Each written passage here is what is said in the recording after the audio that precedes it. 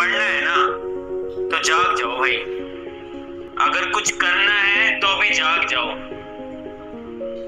सच बता रहा हूँ, ये बहुत क्रूशियल टाइम है।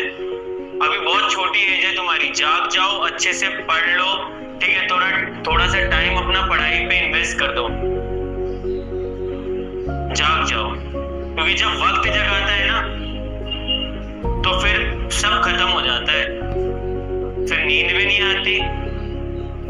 हंसना भी नहीं आता। ये जो खाली जेब और भूखा पेट होता है ना, खाली जेब और भूखा पेट, जब इसमें बंदा जागता है, फिर कोई पढ़ाई नहीं होती। पहले बता रहा हूँ मैं। वक्त है, जाग जाओ। टाइम है तुम्हारे पास अभी बहुत।